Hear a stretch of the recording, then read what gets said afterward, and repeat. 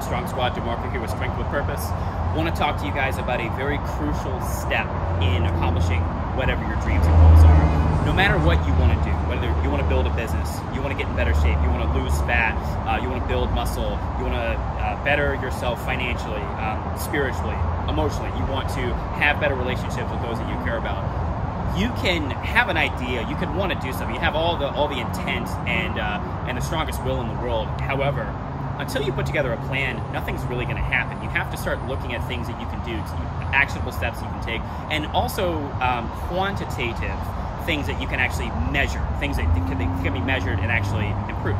Uh, I can't remember who it was. There was a quote: uh, "What gets measured gets improved." I can't remember if it's a sports quote or a, a, business quote, but basically that's that's totally what it comes down to. You have to have a plan and be ready for the plan to change. By the way, there you know things are going to happen. We're obviously in a pand- pandemic right now. Things are crazy.